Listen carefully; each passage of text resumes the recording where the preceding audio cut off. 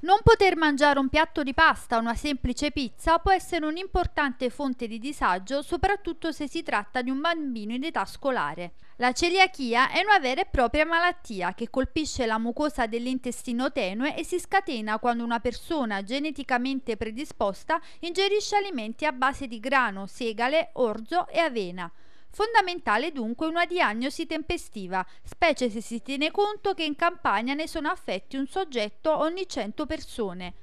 Questo è l'obiettivo del progetto Bye Bye Glutine, promosso dal Dipartimento di Sanità Pubblica dell'Università Federico II di Napoli finanziato dal settore farmaceutico dell'assessorato alla sanità della regione Campania realizzato in collaborazione con la casa editrice L'Isola dei Ragazzi,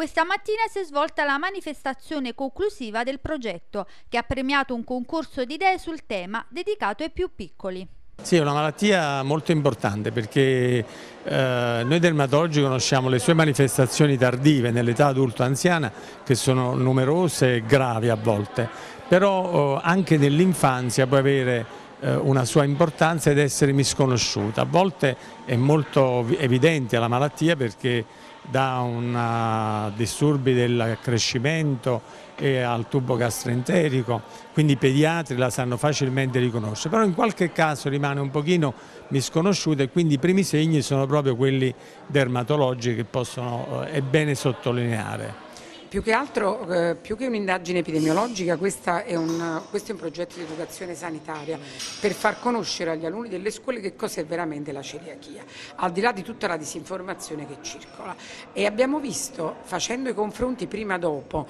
cioè prima dell'intervento educativo e dopo l'intervento educativo, che le informazioni e le conoscenze prima dell'intervento erano piuttosto sommarie e generiche. Dopo l'intervento educativo sono diventate più precise e più puntuali e la percentuale di studenti studenti che conoscevano sia che cos'è la celiachia e sia che cosa sono le intolleranze alimentari è aumentata notevolmente.